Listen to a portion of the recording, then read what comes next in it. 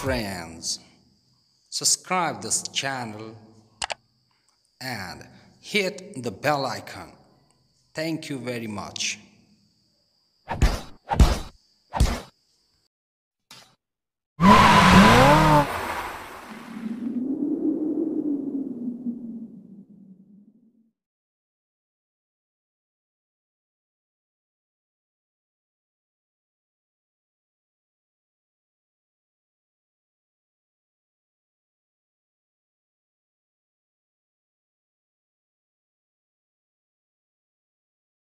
Hello all my dear students, it's Masood is once again in front of you to help. Today I'm going to tell you about an interesting story from the fourth chapter of the book Vistas of class 12 which is The Enemy. This story is written by Pearl S. Buck, an American writer and novelist. This story was written during the time of Second World War. This story took place in the year 1941 in one of the towns of Japanese coast. During that time, there was war between America and Japan. 1941 was the year when Japan attacked Pearl Harbor. Japanese were quite hostile to Americans and ready to kill any American found in their motherland. This story begins with the description of house of the main character whose name is Dr. Sadao Hoki. His house was situated on the coast of Japan. The house was set upon the rocks that had a fine boundary line made with pine trees. Dr. Sadao Hoki used to play around in that fine surrounding during his childhood days. Dr. Sadao Hoki's father was quite patriotic and serious type of person who cared much more about his son's education and future. His father had sent him to America to study surgery and medicine at the age of 22. Dr. Sadao Hoki returned to his homeland at the age of 30. He came from America with Hana, a Japanese girl. He met Hana at Professor Harley's house. He married her in his homeland, taking permission of both families. Dr. Sadao Hoki became quite popular in Japan, not only as a surgeon but also as a scientist. Actually, he was perfecting discovery related with wounds cleaning. Before dying, Dr. Sadao's father also got chance to see his son's popularity in Japan. Dr. Sadao was quite perfect in his surgery practice. He was believed as a reliable surgeon. During the time of Second World War, most of the doctors had been sent with troops for the treatment in the battlefield. But Dr. Sadao Hoki hadn't been sent with the troops because the condition of old Japanese general wasn't good. He might need an immediate operation at any time. That's why Dr. Sadao was being kept in Japan. The old general was the patient of Dr. Sadao, whom the general believed so much. Dr. Sadao Hoki was living his life very happily along with his wife Hana and two kids. One evening while Dr. Sadao and Hana were talking, both of them saw a man coming towards them crawling from the ocean. That man was white in complexion but seriously wounded. Through that man's cap, both of them came to know that the man was soldier of US Navy. Both of them realized that the soldier was a prisoner of war. Both Dr. Sadao and Hana become quite confused in the matter of helping him or not.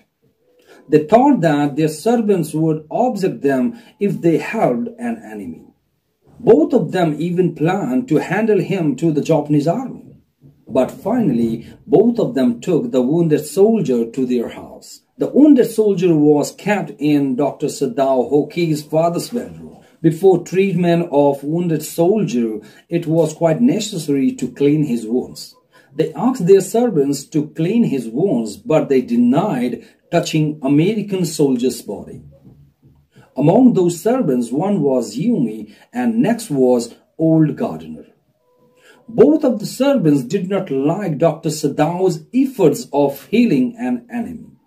After their denial, Hana herself cleaned his wounds with hot water. Dr. Sadao asked his wife to assist him. Hana was asked to inject anesthesia in the wounded soldier's body. She helped her husband.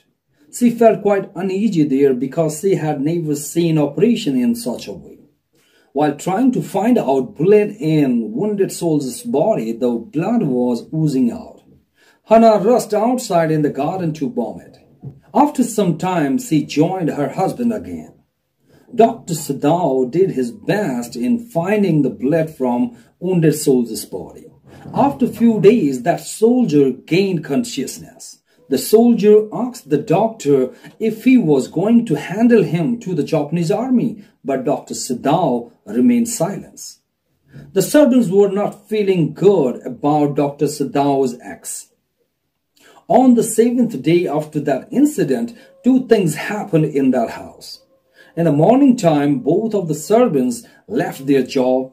In the afternoon time, a messenger came to Dr. Sadao's Hoki's house in uniform. Hana felt quite afraid to see him there. But the messenger reported about the pains of old general and Dr. Sadao had to meet him urgently. After receiving message, Dr. Sadao moved to see the old general. He informed each and everything about that American soldier to the general.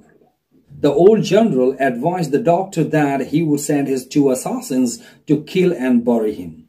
Dr. Sadao agreed on old general's advice. When Dr. Sadao returned to his house, he came to know the name of that soldier as Tom while talking.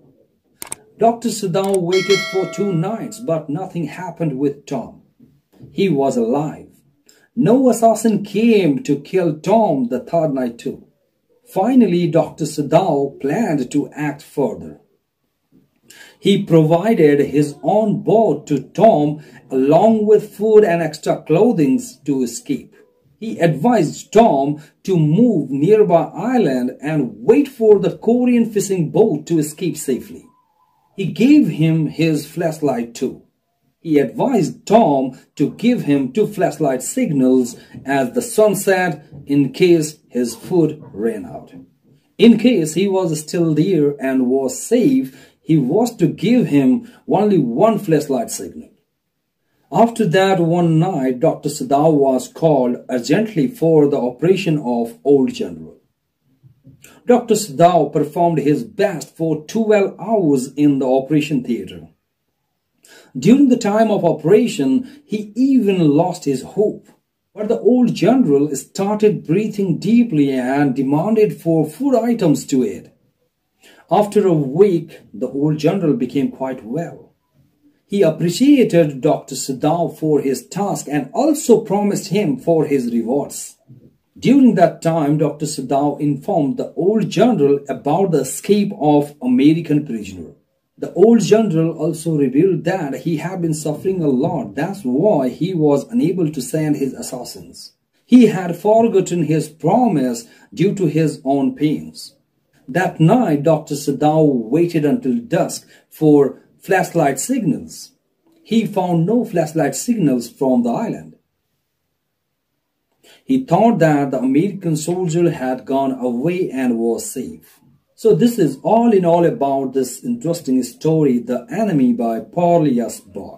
This story has shown the tremendous concept of humanity where a doctor has played very important role in saving a wounded American prisoner's life.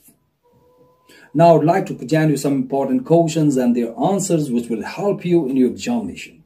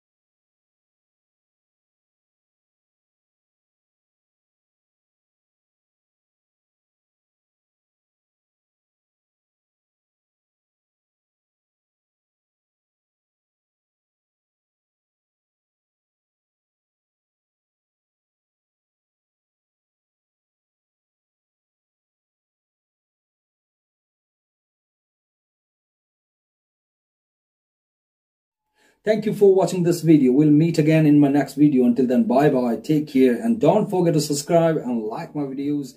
Thank you very much.